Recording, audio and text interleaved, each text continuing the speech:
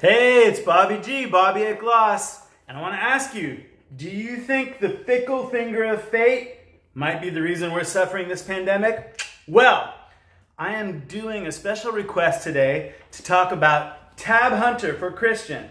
Christian had said, hey, do a little story on Tab Hunter, so I'm going to talk about when I met Tab Hunter on November 1st of 2005 for a book signing of this book and the showing of the documentary Tab Hunter Confidential. Tab Hunter was an awesome dude. He was a big movie star in the 50s and early 60s. And um, when I met him, he was an elderly man, um, but he was still really, really handsome. But the most notable thing about him was that he was so humble and shy and so incredibly polite.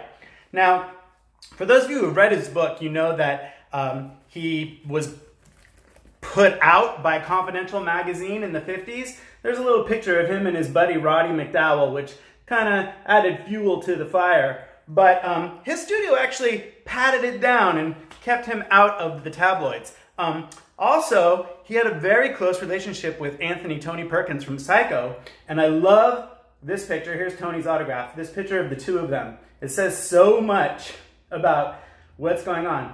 What's cut out of this picture is the females on either side, and if you look closely, doesn't it look like Anthony might be slipping the photographer the finger? I don't think that he wanted that picture to be taken. And Tab looks like he's trying to get a serious point across. Additionally, I have this random photo because I have no idea what they starred in together.